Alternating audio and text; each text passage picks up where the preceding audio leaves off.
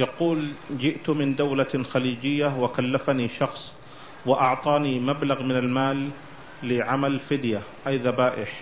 وعندما سألت هنا قالوا أن ذلك في عيد الأضحى فقط. ماذا أفعل بهذا المبلغ الذي معي؟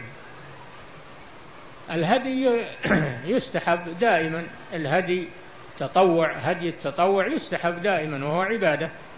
يفعل في الحج وفي غيره. إنما الذي يجب في الحج هدي التمتع.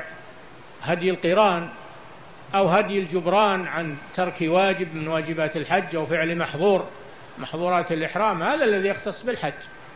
أما هدي التطوع فهذا ليس له وقت. يجوز في كل وقت. فعليك أن تنفذ ما قال لك.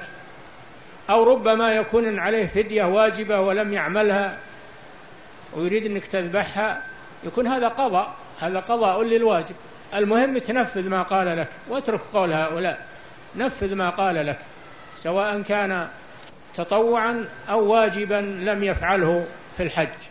نعم.